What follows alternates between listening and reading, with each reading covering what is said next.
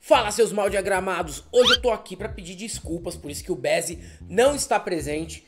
Sobre a vez que falamos que o Deltan Dallagnol jogava bolinha de gude no carpete e empinava a pipa no ventilador de teto do apartamento porque isso provavelmente não é verdade. A gente teve acesso aqui a algumas informações sobre a família do procurador e também sobre ele, que deixam claro que talvez ele brincasse na infância de outras coisas, com tanta terra que os Dallagnol têm, com certeza o Delton deve ter brincado, por exemplo, de explorar o amiguinho na colheita de soja, negociar a venda de boi Nelore pro Zezé de Camargo, entre outras coisas que você vai ver aqui no passado secreto de Delton Dallagnol. Mesmo combalido com uma gripe muito forte, nosso herói, o nosso lenhador de bonsai, Elber Maldonado, vai contar tudo sobre o Beltrán Trapranclanon. Quem não sabe, a família do coordenador da Lava Jato tem um longo histórico de exploração de terras no Mato Grosso, na região ali da Amazônia Legal. Os caras são condenados por grilagem, atuações de desmatamento ilegal e recebimento de pelo menos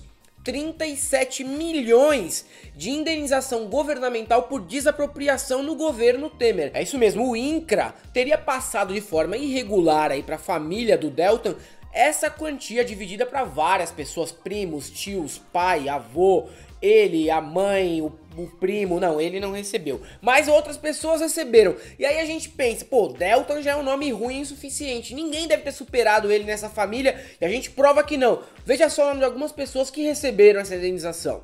Sabino, Xavier, Belchior, Vilce, Agenor, Cerci, Veneranda e Ninajin. É, a gente não tá falando em outro idioma não. Isso é o nome da galera da família do Deltan Dallagnol. Fica claro aí que eles não são só o terror da grilagem no Mato Grosso, como também o terror dos cartórios do estado. E eles são donos ali de várias terras, e inclusive terras que depois foram loteadas, viraram imóveis, eles são donos de imobiliária e tudo mais desde a década de 80, quando ainda vigorava a ditadura aqui no Brasil. Eles saíram ali do Paraná, do Rio Grande do Sul, foram para o município de Nova Bandeirante e viraram os reis do lugar. Mas, assim como todo bom morador do sul do Brasil, antes de começar a lotear e plantar soja e criar uns boi ali naquelas terras, eles tinham que fazer algo que não pode ser deixado de lado quando a gente está falando de pessoas dessa região do país, que é criar um CTG. Óbvio que eles criaram um antes de qualquer coisa.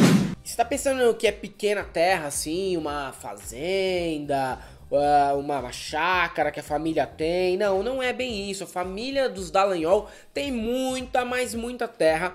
Segundo uma matéria aqui do site De Olho nos Ruralistas, toda a extensão territorial dessa família ali no Mato Grosso dá o equivalente aí ao país de Cabo Verde na África. Óbvio que o lugar é bem menos interessante que esse país africano e óbvio também que as pessoas que residem lá são bem menos legais e interessantes.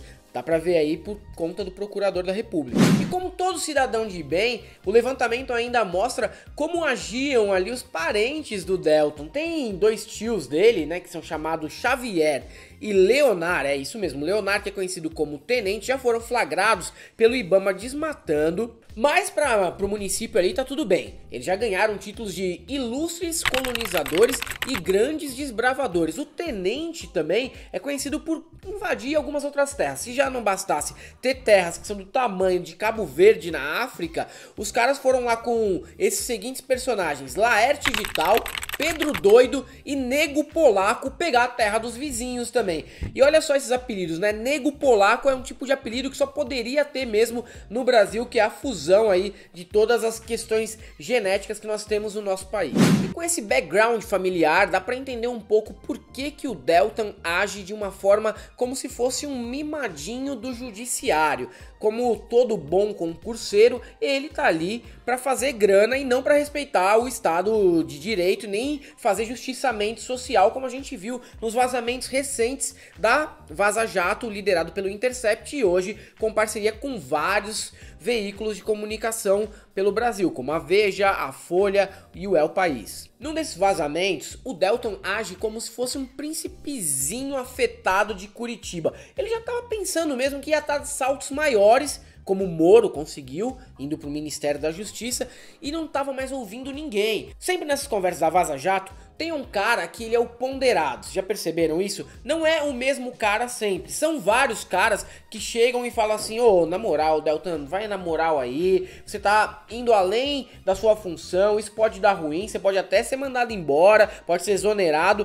E como ele já tava num patamar assim de arrogância muito grande, fazendo palestra e sendo considerado um dos caras ilustres do Brasil dos últimos anos, ele respondia só dessa maneira: "O quê? Eu fazer palestra? Agradeço a preocupação, mas eu sou o Delton, o cara que prendeu o Lula. E aí não tinha jeito, porque por mais que os amigos davam um toque, o Delton não ouvia.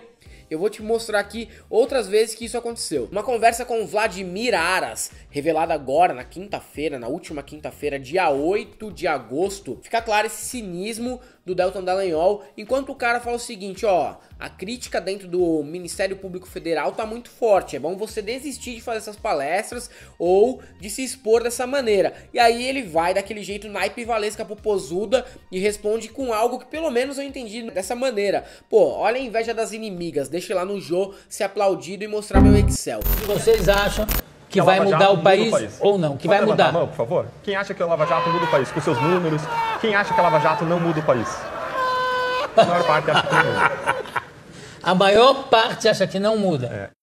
Chupa que a cana é doce, meu filho. Já em julho de 2017, o então corregedor do Ministério Público Federal, Hindenburgo Chateaubriand Filho, que tem o segundo pior nome do MPF, depois do Delta, é claro, criticou informalmente a conduta do procurador da República na divulgação de palestras e ressaltou a gravidade da situação, mas deixou de abrir apuração oficial, não sei porquê, talvez por conta do corporativismo que rola no judiciário e que ficou claro também na Vaza Jato. Já no dia 19 de fevereiro de 2019, que foi quando Paulo Preto acabou sendo detido e preso, o Delta manda uma mensagem nesse grupo, no grupo de Telegram batizado de Filhos do Januário, ele diz o seguinte: tem um boato de que parte do dinheiro do Paulo Preto é do Gilmar Mendes. E aí ele é indagado pelo procurador Ataíde Ribeiro da Costa, que fala: Mas vem cá, Delta, esse boato existe mesmo? Acho que nessa época os amigos dele já estavam pensando que o Delton era uma espécie de terraplanista do judiciário. Porque você pode ver, o tal de Ataíde nem pergunta, ah, mas esse boato é verdade? É, ele já manda logo, mas o boato existe mesmo você tá inventando? Mas tudo deu errado pro Delton, segundo uma teoria que eu e o Bezzi criamos aqui, que todo mundo que visita o Caetano e a Paula Lavigne acaba tendo um azar na vida. O nosso cantor de MPB é uma espécie de Mick Jagger da política nacional. Ele é um puta de um pé frio. Não tem jeito. Marina Silva, Boulos, Ciro, todo mundo que visitou o Caetano na casa dele acabou se dando mal. E o Delton foi lá com o Randolph Rodrigues, é, o senador do partido Rede, que super topava, né, qualquer coisa que o Delton falava. Foi até a casa da Paula Lavigne mostrar uma apresentação naipe piramideiro pro Caetano e eu espero que o Caetano tenha recebido o Delton da mesma maneira que ele recebeu Carla Pérez e Xande lá no camarim, só de cueca, aquela cueca que sai a piroca na lateralzinha, para falar sobre Lava Jato. E o que, aconteceu algum tempo depois que ele foi lá se encontrar com Caetano? Tá aí, a Vaza Jato deu tudo errado nos planos. O Delton que pensou que em breve seria não só o reizinho da República de Curitiba, mas talvez o prefeito de lá ou o governador da República do Paraná. Não deu mais nada certo na vida dele. Esses vazamentos estão aí toda semana mostrando que além do fato de ele ser um cara com uma autoestima absurda, quem vazou isso foi alguém de inside job, talvez um desses procuradores que se mostram de certa maneira ponderados e tentam falar para ele pegar leve que não tá bom esse tipo de antiética dentro das investigações a Lava Jato e aposto mais nisso do que numa figura de um hacker. E o Delta mostra no fim das contas que a inteligência dele e do Moro é aquela inteligência típica de concurseiro que só consegue decorar até passar no concurso. Quando chegou ali e tá com sua habilidade financeira garantida, o cara não consegue mais usar o cérebro para nada, porque ele usou o Twitter para falar a seguinte coisa, ele falou: "Bom, essas investigações não são verdades, mas essas informações foram conseguidas por meio de um crime ele tem que decidir. Ou não é verdade, ou as informações são verdadeiras e foram conseguidas por meio de um crime. Ele não consegue mais sustentar esses dois discursos. E também tem aquele terceiro que sempre complementa esses dois, que é, não, mas também se for verdade, não tem nada demais. E bom, você gostou do vídeo, gostou do nosso canal, não esqueça de se inscrever, ativar as notificações e também dar uma olhada no nosso apoia-se aqui para financiar a, os nossos próximos vídeos. Também não esqueça de ir lá no nosso Instagram, Facebook e Twitter. E bom, para todos vocês aí que estão gostando das novas revelações da Vaza Jato, eu só tenho uma coisa para te dizer, não passarão.